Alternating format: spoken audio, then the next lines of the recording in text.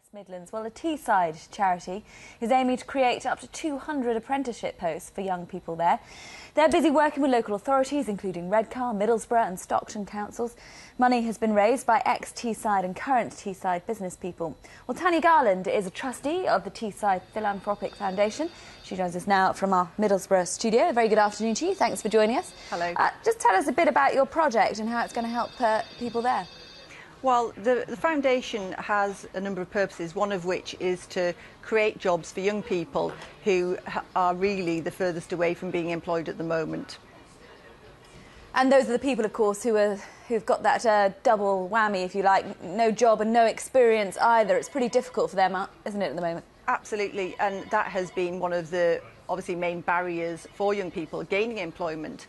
Um, we're working with local employment agencies and with private businesses to create opportunities that didn't otherwise exist. So this is new job creation, um, not taking jobs from one set of people to give to another. And how are you doing that? Because I think the, the, figure we've just quoted is 200 apprenticeship posts in the region that you're talking to us from. How, how are you doing that? Because if it was that easy just to create 200 posts, I mean, people be doing it everywhere, wouldn't they?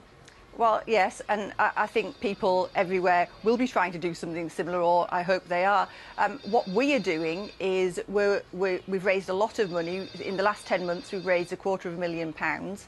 Um, so we're co-funding apprenticeship schemes that currently exist and creating new ones specifically for jobless young people. Um, and we're also working with members of the foundation, which are all private businesses, to create jobs within those businesses as well. So it's direct action to directly positively affect the landscape in which we operate.